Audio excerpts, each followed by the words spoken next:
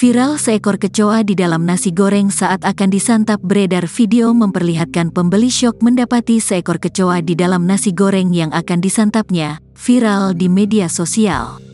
Video tersebut diunggah oleh akun Instagram @kabarnegri, Minggu, tanggal 11 Juni tahun 2023. Dalam video memperlihatkan seorang pembeli mengeluh yang membeli nasi goreng di salah satu tempat nasi goreng yang berada di kota Pontianak. Pembeli tersebut membeli nasi goreng berjumlah empat bungkus, namun salah satunya menemukan kecoa di dalam nasi goreng tersebut. Pembeli tersebut berharap agar penjual nasi goreng untuk selalu menjaga kualitas serta higienitas dari nasi goreng tersebut.